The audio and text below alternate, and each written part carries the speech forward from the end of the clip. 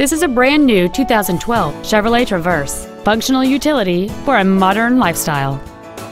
It has a 3.6 liter six cylinder engine and an automatic transmission. Features include aluminum wheels, a low tire pressure indicator, cruise control, a leather wrapped steering wheel, a rear spoiler, an illuminated driver's side vanity mirror, privacy glass, traction control, a power driver's seat, and satellite radio. Contact us today and schedule your opportunity to see this vehicle in person.